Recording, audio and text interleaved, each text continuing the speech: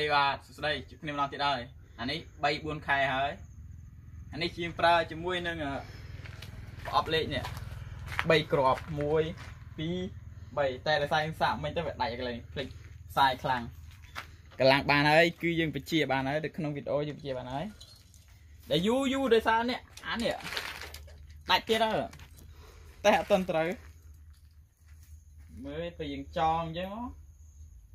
អានេះគឺវាចាប់អឺកម្មលាវដូចកយន្តហ្នឹងឯងស្រួលកម្លាំងជាងទៀតកម្លាំងជាងមុនឲ្យស្រាលទៀតធានាមកស្រាលកុំស្រាលជ្រាវរកអាស្រាលហ្នឹងឯងហើយទៅទៀតយើងធ្វើចូលរួមគីឡូក៏បានចូលរួមចូលស្រែក៏បាននេះដោយសារយើងចង់តេស្តមើលម៉ាស៊ីនវាសិនអូខេ